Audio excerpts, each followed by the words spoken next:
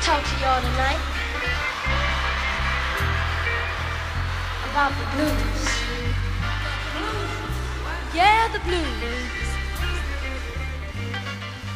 Don't nobody have the blues like I have. I may be young, but I know what it's all about.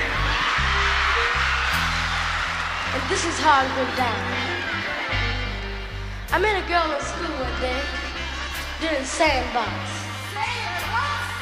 We toasted our love during milk break. I gave her my cookies.